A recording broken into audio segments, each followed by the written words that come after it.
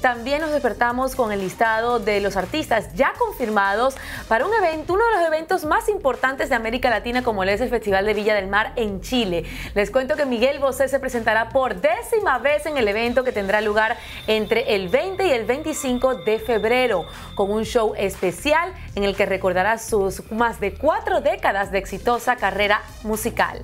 Por su parte, el rey del vallenato, Carlos Vives, regresa a la Quinta Vergara, el parque de Viña del Mar, donde se celebra el festival después de tres años de ausencia.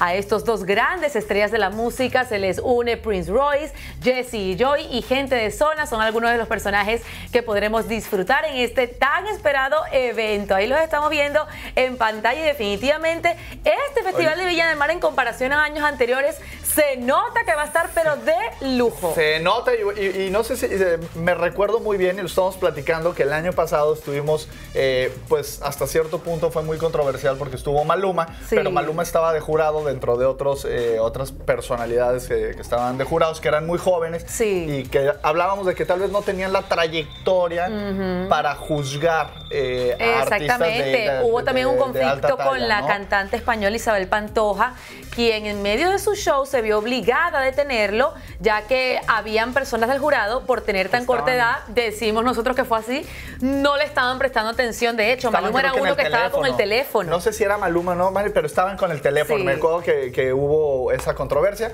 Pero bueno, finalmente nos da muchísimo gusto que estén ahí los colombianos metidos, Carlos Vives y este. Qué bueno que Carlos Vives Viña del Mar. vuelve, Cristian, además que es súper aclamado, bailan todas sus canciones, lo esperan año tras año. Yo creo que los chilenos son uno de, los públicos más asiduos a la música colombiana y a la música vallenata, en el caso de eh, Carlos Vives, y qué bueno que nos den esta buena noticia.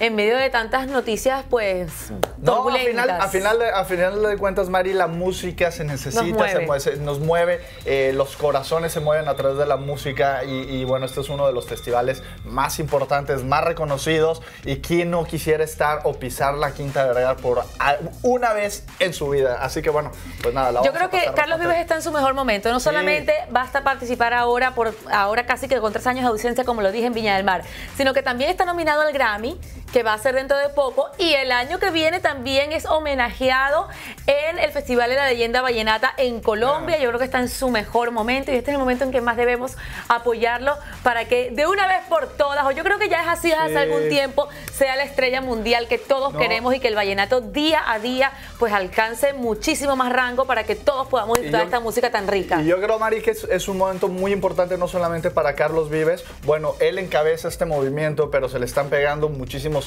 artistas con este movimiento del vallenato, de internacionalizar el vallenato, y aquí lo hemos estado viendo en las cámaras de Trendeando, así que, eh, pues nada, yo creo que el vallenato está viendo ese, ese momento que se le necesita.